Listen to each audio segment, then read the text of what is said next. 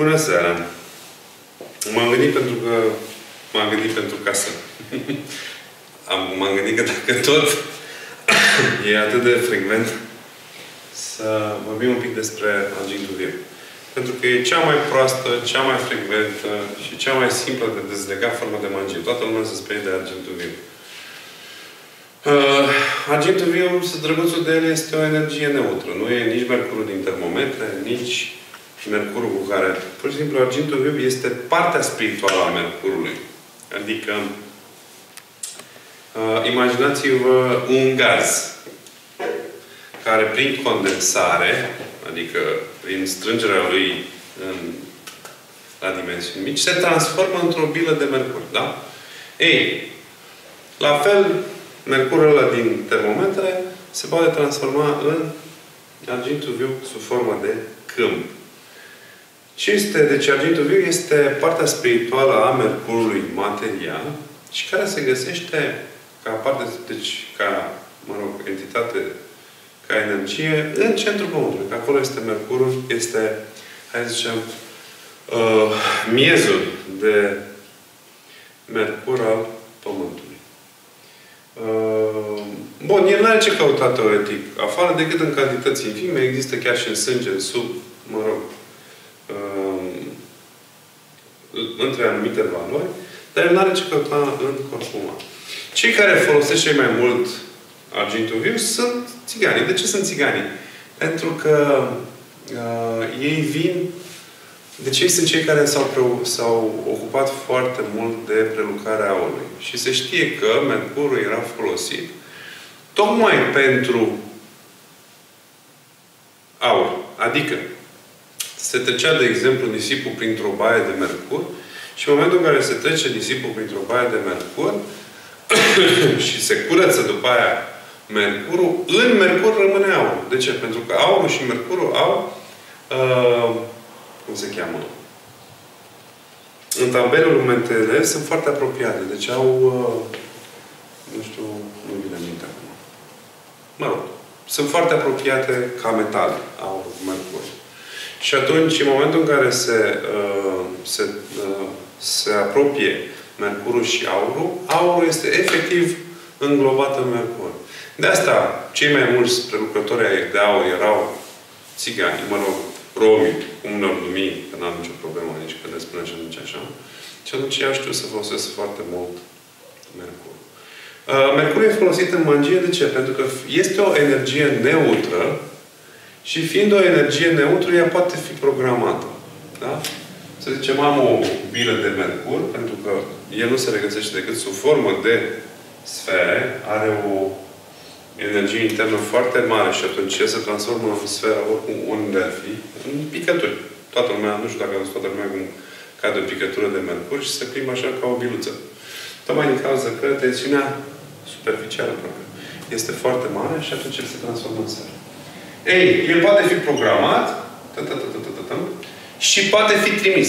De aici se spune arginviu. Pentru că el e acum, mâine e să plimbă. E destul să te așezi pe locul pe care a stat cineva care are arginviu ca să preiei arginviu. Da? Poți să preiei arginviu de la restaurant, poți să preiei arginviu de la, din mașină, din mijloace de transport în comun, poți să preiei arginviu eu știu că te duci la o sală de fitness și acolo a fost cineva care a avut argint viu. Deci poți să preiei argint viu de oriunde pur și simplu. Argintul viu e neutru. Deci el nu stă foarte mult în corpul uman. De ce? Pentru că fiind greu, el automat în timp se scurge în pământ. Problema este că această energie blochează meridianele și câmpurile. Și centri energetici și tot. Și atunci, unde se așează acest Mercur? Uh, unde așează acest blochează meridianul energetic. Da? Și din cauza asta produce ce? Disfuncții la nivel energetic, în primul rând. În altă ordine de idei, uh, în locul în care se așează, produce distrugerea matricii originale a organului respectiv. De obicei, la bărbați se duce în testicule și în timp de cancer testicular. La femei în sâni, pentru că, mă rog, cu timpul încep să atârne și atunci se așează în sân și produc ce? Nodulii de la nivelul sânilor.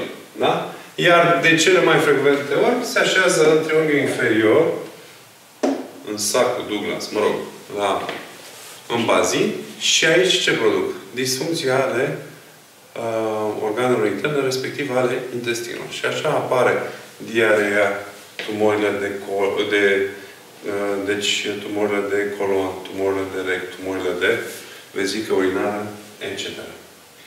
În organism îi afectează foarte mult rinichii. De ce? Pentru că uh, organismul tinde să elimine agentul viu prin rinichi, având, mă rog, niște energii mult mai dense, distrug membrana renală și atunci apar disfuncțiile renale. Nu ai luat întrebări. Da? Bun.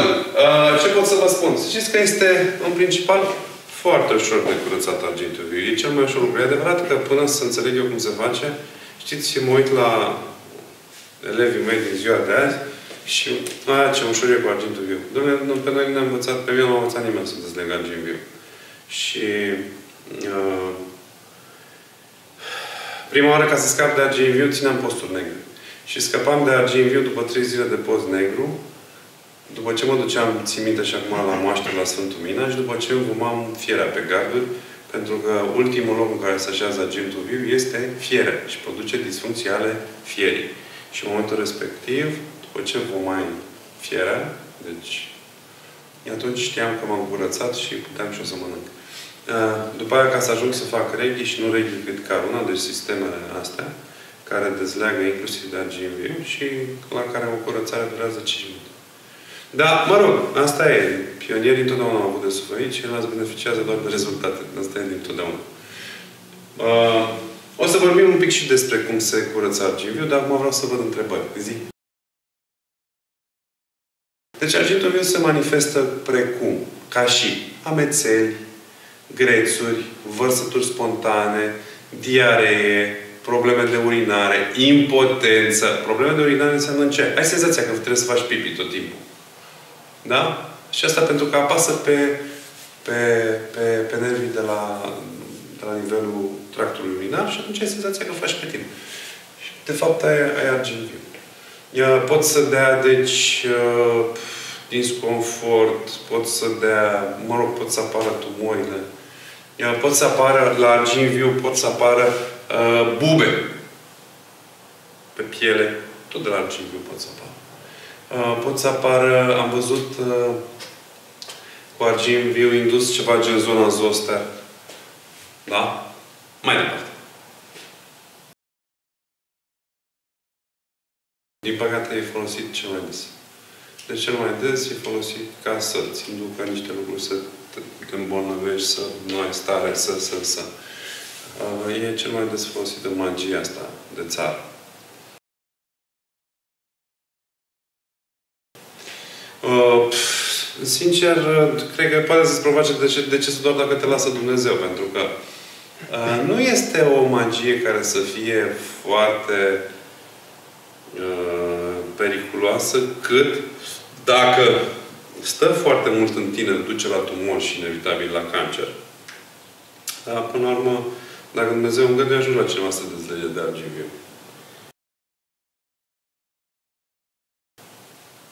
nu propriu-zis sufletul, că nu interacționează cu el, dar în locul în care stă, de la o parte sufletul. Și în locul ăla, deci el este atât de des, să scoate în, încât să scoate în afară tot. Și în locul în care se formează bila asta, evident că face o gaură în suflet, deci distruge matricea. În zona respectivă se produce, uh, apar celulele canceroase.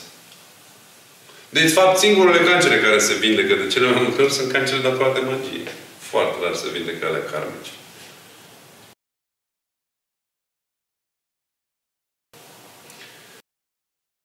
Sincer, habar n-am. Cale medicală de scos arginviu, intoxicația cu mercur, chiar nu mai știu. Dar, uh, sau medicamentoase.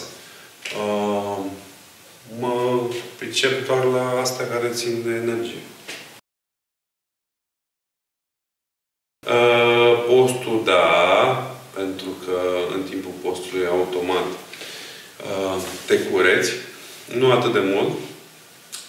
Iar rugăciunea, doar dacă este rugăciunea făcută specific, deci să zicem rugăciunea Sfântului Ciprian de dezlegare de magie, e foarte utilă cu trei lumânări aprinse. Adică ți-ai aprins trei lumânări și citești rugăciunea Sfântului Ciprian. Dar, dacă nu se adaugă și argintul viu, nu se dezleagă. Deci condiția, poți să citești moliftele, poți să citești rugăciuni de dezlegare de farmace, până când nu adaugi argintul viu și nu îl numești, nu se dezleagă. Pentru că el e neutru. El îl doare flecul dacă îl blestem. Păi, e ca și cum mai blestem o piatră. Stau lângă o piatră și o blestem. Ei și afară, ei depărtează.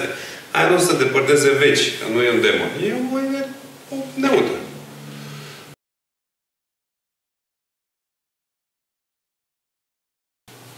Uh, haideți să vă spun cum am făcut eu prima oară. Da? Mi-a venit un pacient și a început să-mi spună că are niște grețuri, că are diaree, că îi vine să vomite, că și mi-a dat seama că e argiviu, că trebuie să de mult în, de foarte mult în, în treaba asta. Ei, imaginați-vă că omul este așa, ca un ulcior. Și că are centri energetici. Da? Centrii ăștia energetici, până și sării, da? Sunt centri energetici. Și testiculele sunt centri energetici, da? Și splina sunt centri energetici. Ficatul e centru energetic. Genunchii sunt centri energetici. Tălpile de la picioare sunt centri energetici. Umeri. Încheieturile sunt centri energetici. Da?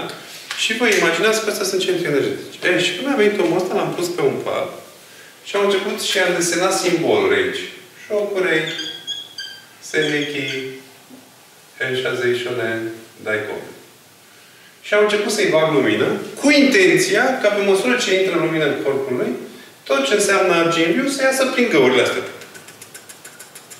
Și în momentul în care tu am coborât planul ăsta, tu și când am ajuns jos, era curățat. Este cea mai simplă formă de curățare. Deci durează sub 5 minute. Da? Tehnicile de curățare personală sunt foarte simple. Îmi imaginez sursa de lumină, Duhul Sfânt mă rog, zic tatăl nostru sau ce vreau eu. Da? Bag, deci, cum să cheamă? Uh, îmi imaginez cum intră lumina prin ceacrul coroanei, prin palme, prin brațe și cum să mă umple cu lumină. Și pe măsură ce mă umple cu lumină, iese în afară ce? Argintul viu. Și între timp eu îmi imaginez cum sunt deschise astea. Deci, efectiv, îmi imaginez că sunt ca niște supape care permit să iasă dimineața din Dumnezeu. Și asta scurge și îl trimit unde vrea Dumnezeu. O altă formă. Deci, repet. Mă conectez la sursa de lumină. Da? Vine lumină. Tuf. Intră prin mine, se duce și pe măsură ce se scurge din mine, se duce la centrul Pământului. Sau unde vrea Dumnezeu. O altă formă și mai banală, pentru cei care sunt ultra-ortodoxi, uh, îmi imaginez palma mea stângă și încep să spun Tatăl nostru, da? Și îmi imaginez cum adun aici toată energia Argentului. Tatăl nostru care ești în cerul, sfințească să numele Tău, vie împărăția Ta, facă să vrea Ta precum în cer, așa și pe pământ. Pâinea noastră, cea de toate zilele, dă nouă asta și ne iartă nouă greșelile noastre, pe cum și noi iertăm greșiților noștri. Și nu începe noi în ispită, ci ne izbăvește de cel rău. Căci a ta este împărăția și puterea și slava Tatălui și a Fiului și a Sfântului Duh, acum și purea și în vecii vecilor. Amin. Și în momentul în care am terminat, să știți că eu deja aici am. Paf! Și o trimit unde vrea Dumnezeu. Și asta este noi. Deci, cât durează să spui Tatăl nostru? Și dezleagă tot. De fapt, ce fac? În momentul în care spun Tatăl nostru și mă gândesc la el, eu îl deprogramez. De programele pe care le-a avut. Și implementez alt program. Și l-am trimis unde vrea Dumnezeu. Altă întrebare. Am înțeles. Bun. Uh, deci cam asta este despre argintul viu. Este cea mai simplă formă de dezlegare. Pe mine mă, mă irită îngrozitor când vin oameni care au fost inițiați de mine și am vorbit atât de argiviu încât m-am disperat. Și nu înțeleg că este cea mai banală formă de magie și cea mai simplă de curățat. Și, cum să vă zic eu, din punct de vedere al terapeutului, spectaculoasă. Că omul îți vine, e greață, îi vine să vomite, are amețeli, din cauza că afectează rinichii. Unul dintre simptomele poate să, uh, unul dintre simptomele argintului viu pot să fie acufenele, adică țiuitul în urechi. Și am un caz. Deci era un băiat care avusesem eu niște ciontăneli prin cartier, tipul campion național de kickboxing. Băia de cartier. Și am umblat vreo doi la, pe la psihiatri pentru că el spunea, domnule, am un țiuit în urechi. și a fost la Orelis, n-a avut nimic și în cele din urmă Orelistul l-a trimis la psihiatru. Și eu l-am văzut pe acolo pe la psihiatrie. Și la un moment dat mă trezesc cu el la mine acasă. Zic, ce cu tine? Păi zice, m-a trimis o psihiatrie. Zice, de ce? Păi zice, de 2 ani umblu și zice, am înțuit în urechi. Pe stânga. Și zic, ce ții? Și vă zic, mă rog, și în măsor, descoper care argint și întreb, ce treabă ai ți cu țiganii? Păi zice, eu sunt recuperator. Și zice, îi mai bat când nu dau bani. Că lucra pentru, mă rog, un băiat bun din lume, te rog. Și zice, domnule, când îi bat, n-am nimic. Dar zice, după aia mă ia țiuit. Și de fapt avea ginviu. L-am curățat într-o, în 5 minute și zicea, mâncați așa. Când ai nevoie de mine, poți să mă chem oricând. Doi ani m-am chinuit și tu m-ai rezolvat în 5 minute. Ești tare. Ești tare, frate. Așa că, dacă vreți să fiți tari, învățați măcar să dezlegați argintul. Să dezleagă tare ușor. Bun, să vă fie de folos la toată lumea. Doamne ajută!